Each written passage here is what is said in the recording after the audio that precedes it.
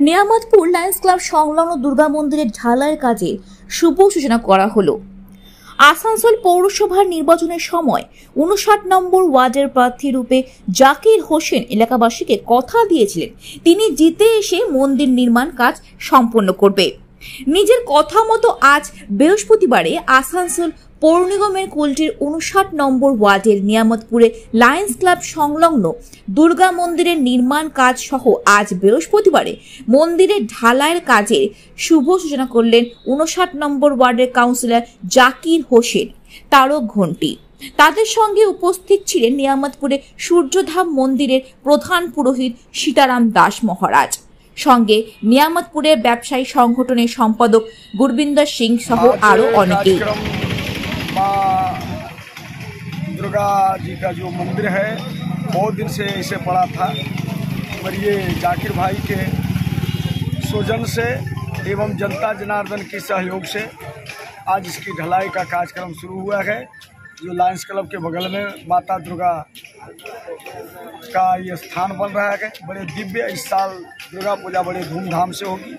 आज हम लोग लायंस क्लब के सामने जो दुर्गा मंदिर का निर्माण का काम बाकी था जो आज हम लोग ढलाई करने के बाबा के हाथ द्वारा ढलाई सब मिलजुल करके हम लोग इस मंदिर का आज हम लोग ढलाई स्टार्ट किए हैं और आने वाला पूजा को देखते हुए का पहले वादा था।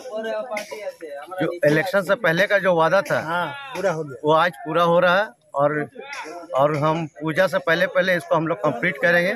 माँ दुर्गा का पूजा बड़ी धूमधाम से पूरा इलाका के सहयोग से हम लोग इसको मनाएँगे। ইলেকশনের আগে আমাদের জাকির ভাই ফিফটি নাইনের টিএমসি কাউন্সিলর বলেছিল আমি মন্দিরটা কমপ্লিট করব এই দুর্গা মন্দিরটা আজকে ঢালাই হচ্ছে পুজোর আগে এটা কমপ্লিট হবে খুব সুন্দর মন্দির হবে अ, जैसा सभी ने बताया है कि लायंस क्लब के साम- सामने दुर्गा माँ का मंदिर था यहाँ पर अ, प्रत्येक वर्ष दुर्गा पूजा होती है और बहुत दिनों से इलाके के लोगों की मांग थी कि यहाँ पूरा ढलाई किया जाए, मंदिर का सौंदर्यकरण किया जाए, अच्छे से मंदिर बनाया जाए। और जाकिर हुसैन जी ने इलेक्शन से पहले वादा किया था यहाँ पर कि मैं जितने के बाद यहाँ पर बनाऊँगा। और इन्होंने वादा के मुताबिक जीतने के बाद यहाँ पर आज ढलाई का कार्यक्रम प्रारंभ हुआ है, जो कि बहुत खुशी की बात है। और हम आशा करते हैं कि जाकिर हुसैन जी जो 15 नंबर वार्ड के काउंसलर हैं, इसी तरह अच्छा कार्य करते रहें और पूरे नियामतपुर को हमेशा की तरह साफ़ सुथरा रखें और शांति जो हमारे यहाँ पर है, जो प्यार है, सब हिंदू मुस्लिम सिख ईसाई में, वो बना रहे।